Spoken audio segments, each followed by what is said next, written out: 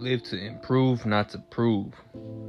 So in life, a lot of a lot of people look to how they can uh, like prove who they are to other people, and if they are not in the perfect space to do that, they get frustrated, they get sad, they get depressed, all that. But all you can do is just improve upon whatever it is that that's holding you back.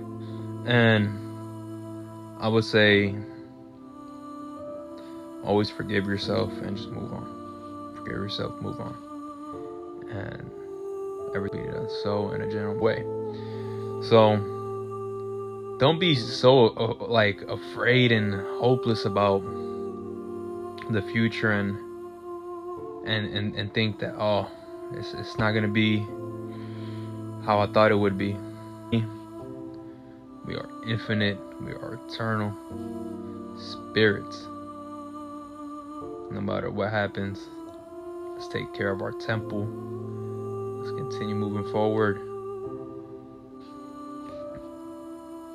And let's just not get carried away with what we might think the future may hold.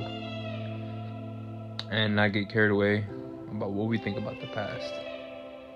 We're all here. That's the most amazing thing. I know it, like it's easier said than done. But the fact that we got all this right here, right now. Like in the grand scheme of things, we got now. Right? So as long as we're breathing, we can make a difference and we can get better. And we'll be okay.